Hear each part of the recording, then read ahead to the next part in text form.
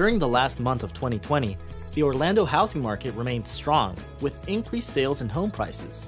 Inventory, on the other hand, dropped once again compared to last year. A total of 3,672 homes sold during the month, a tally that is 21% more than the 3,033 sales in December 2019.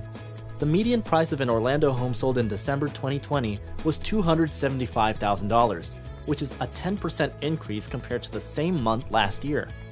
Would be buyers continue to be challenged by the limited number of homes available for sale in Orlando.